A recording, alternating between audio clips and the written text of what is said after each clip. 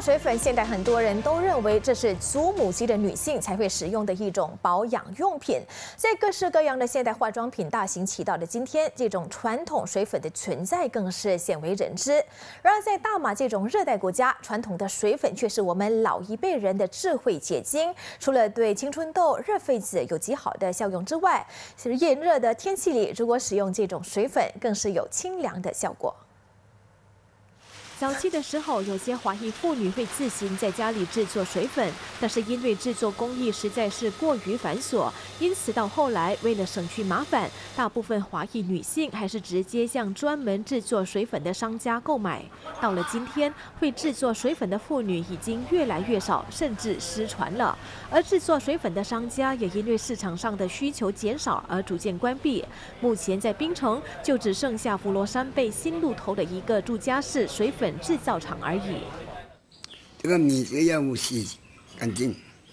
洗干净了，放水沉下去，沉下去一个月，一个礼拜换一次水，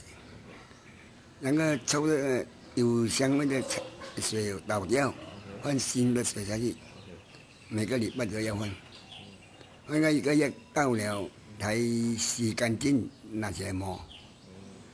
磨了还要过滤。我也吊起来，吊起来再拿起来这边掺水来搅，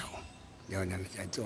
他是佛罗山贝新路头连城水粉公司创办人杨景明，今年已经七十七岁，投入制作水粉的行业接近四十年。他指出，所幸自己的小儿子愿意接手，才不至于让这个夕阳行业没落。每次放学回来就是做做做做做做，写完功课就是帮爸爸按按按按按了，我爸爸就想出那种一个桶，从那个桶做做做。那个时候我只是帮敲粉呐，收起来啦什么，然后比较大了，我再帮忙他这样做一粒粒，慢慢学咯，一步一步学咯，一步一步学学学学，到现在我全部都会了。